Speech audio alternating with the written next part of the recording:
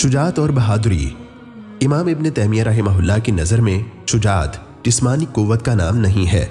बाज लोग कभी बदन, लेकिन कमज़ोर दिल होते हैं। शुजात दिल की कुवत और मजबूती से इबारत है।